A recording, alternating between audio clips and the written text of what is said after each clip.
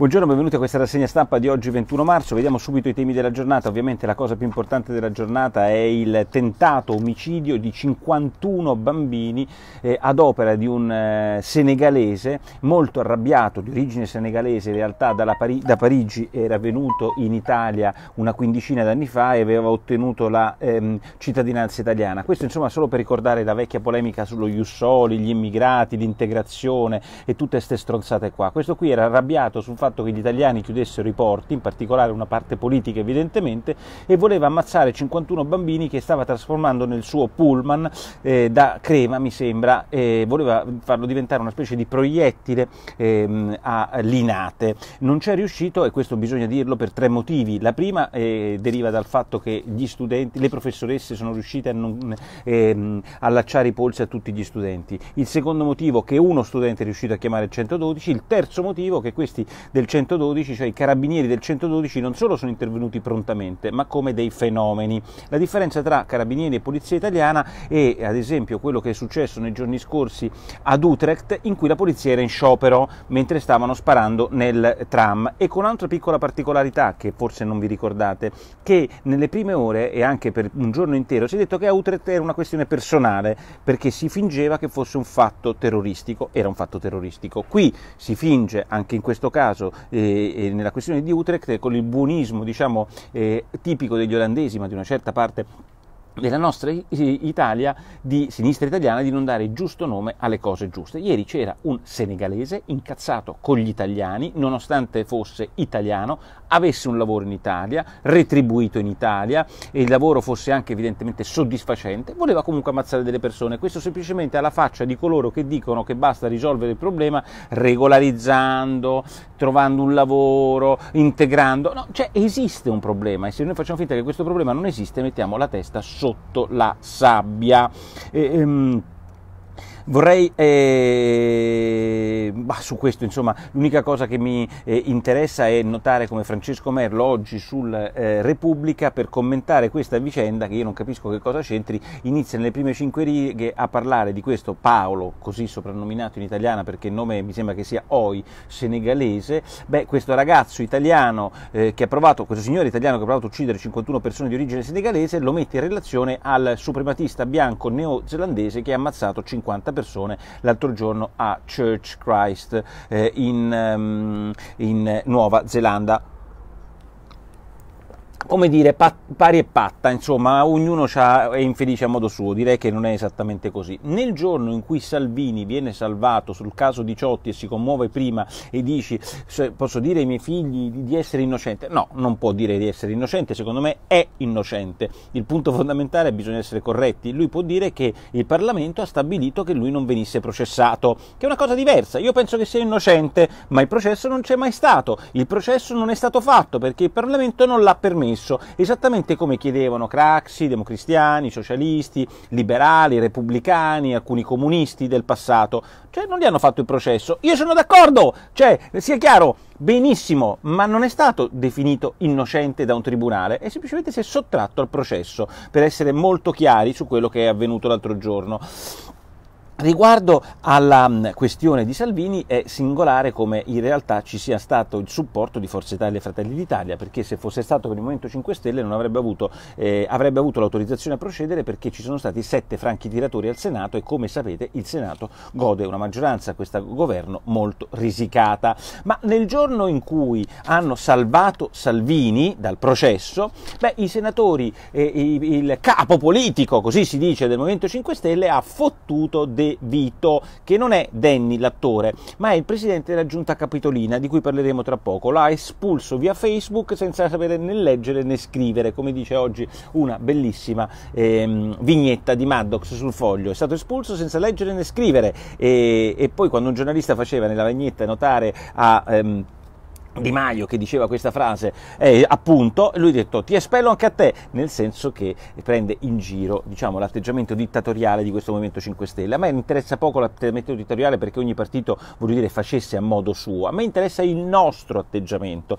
nei confronti dell'espulsione di questo De Vito. Sono cavoli del Movimento 5 Stelle, piacerà tanto a Travaglio questa cosa perché loro potranno dire che sono diversi dagli altri partiti perché loro quando si accorgono espellono tutti quanti. Benissimo, ma io invece sono andato a leggermi tutte le carte carte di oggi. E questa cosa, se posso permettermi, ricordatevi il caso della modella Iva Iman, che in Repubblica ha definito eh, quasi uccisa da Berlusconi, e la stessa cosa ha fatto Travaglio, la modella che sarebbe morta addirittura per avvelenamento nucleare, eccetera. Secondo la Procura, ancora non è certo, per l'80% è un lupus, cioè è morto di una malattia gravissima e molto difficile da riconoscere. Abbiamo fatto una settimana di congetture, i titoli, ecco i quattro metalli che hanno ucciso la modella Imane, testimone importantissima del processo Berlusconi, poi dopo è morta per morte naturale. Allora io vi dico su De Vito, state attenti ai titoli, state attenti alle virgolette, state attenti alle intercettazioni, state attenti alle carte della procura per cui è stato arrestato questo signore che è stato espulso dal Movimento 5 Stelle, perché quello che oggi sembra un criminale, domani potrebbe essere quell'intercettazione era sbagliata il virgolettato, non era riferita a lui,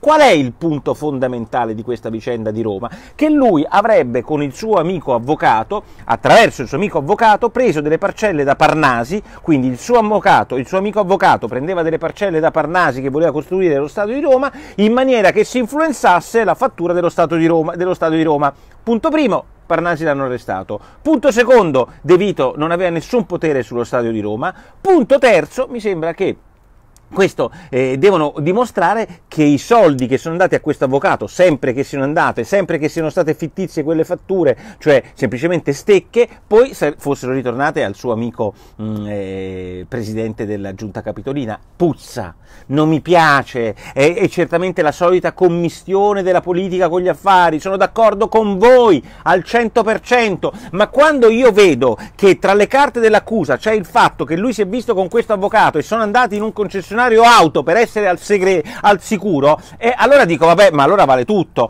Quando vedo che sono andati, in un, eh, siamo, sono andati in un ristorante di lusso, che era il Matriciano a Roma, beh, allora mi viene veramente il sangue al cervello, vale tutto, cazzo! E i magistrati, in questa maniera dell'accusa, fanno il loro mestiere, ma poi bisogna provarle queste cose, bisogna vedere se sono arrivati i soldi, se c'è stata un'effettiva utilità. Oggi voglio dire, e poi io mi chiedo, voi che fate tanto i moralisti, 5 eh, Stelle della minchia, e che avete subito espulso De Vito e potete dire giornali, noi li facciamo subito fuori, ma scusatemi, questo avrebbe preso dei soldi da Parnasi per far fare lo stadio e questo lo fa il presidente dell'Assemblea Capitolina che ha poteri esecutivi pari a zero? No, se l'avesse avuti questi poteri li avrebbe fatti intermediando attraverso alcuni assessori. Quello all'urbanistica, intervistato oggi, dice ma io veramente non ho mai avuto rapporti con lui, non mi sembra che mi abbia mai influenzato operativamente a fare nulla di che. E poi avrebbe avuto rapporti con la Raggi, che invece l'ha scaricato subito, o col vice sindaco, o col porca miseria di, di, di eh, funzionario. No, questo da Presidente del Consiglio Comunale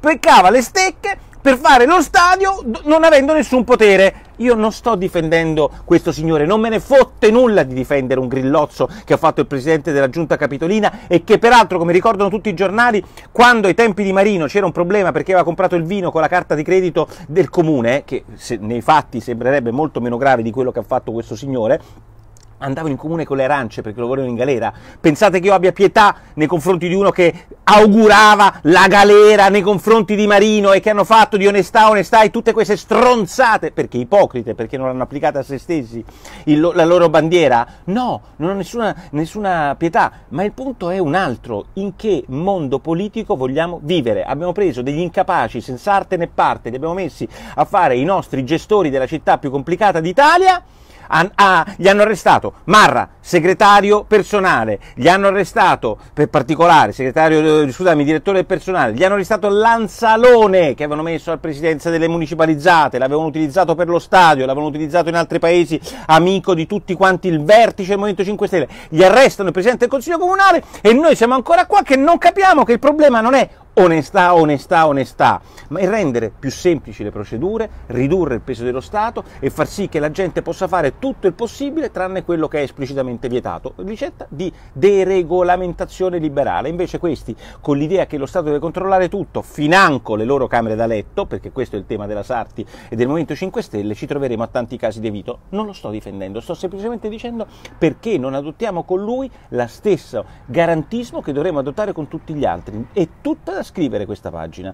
Bellissima la storia di Luxottica in cui il primo proprietario come sapete al 70% era ehm, eh, Leonardo Del Vecchio, eh, l'orfano che è riuscito a fare un gigante eh, incredibile, l'ha reso ancora più grande fondendosi con la produttrice di lenti che si chiama Essilor francese, a sei mesi dalla fusione le cose non vanno. In un'intervista al Figaro riportata oggi integralmente da Repubblica ci dice eh, che il management, il manager eh, della fra- francese non fa tutto come se fosse sua l'azienda azienda e lui dice scusami io fino a prova contraria ho di fatto della nuova azienda il 32%, voi avete il 4% della nuova azienda, i patti erano che si comandasse insieme, invece i francesi se ne sono fottuti, nominano dirigenti, dice, ehm, del vecchio e fanno gli affari loro. Io non riesco a capire, standomi molto simpatico del vecchio, ovviamente tutte le sue tesi secondo me sono ben condivisibili perché è un genio totale, però l'idea che si possa comandare in due in un'azienda, soprattutto mettendo del vecchio uno che dal zero ha fatto ehm, quella roba lì e i manager di Essilor è, era secondo me una pia illusione che come tale si è dimostrata. Eh, ultima cosa, Orban, il cattivissimo Orban, beh, i, de, i, popolari non riescono a espellerlo dal Partito Popolare Europeo. E, e dice oggi qualcuno sul Corriere della Sera un compromesso democristiano perché lui si autosospende e si deciderà in un comitato di saggi in cui c'è Ettinger, ci sono vari personaggi strani del Partito Popolare Europeo, decideranno Orban se cacciarlo o meno, ma sapete quando? In autunno, cioè fra sei mesi dopo le elezioni europee. Allora io mi chiedo se Orban è questo gigante eh, dittatoriale contro la democrazia e la libertà, questo Partito Popolare ci sta pensando se un novello Hitler, un novello Mussolini in Europa, questo Orban, il Partito Popolare si sta potendo una domanda cacciarlo o non cacciarlo, l'avrebbe dovuto cacciare immediatamente, anche perché le porte aperte i nazionalisti i polacchi e sovranisti italiani gliel'avevano già aperte. Pare che invece, complice anche in questo caso, eh, non solo la Merkel, ma anche Berlusconi, cioè i partiti popolari più importanti d'Europa, se lo vogliono tenere dentro. Mettiamoci dunque d'accordo se sono cattivoni oppure sono mali necessari. Direi che per oggi è tutto. Tante cose sul sito di colaporro.it e condividete questa zuppa se vi piace. Ciao!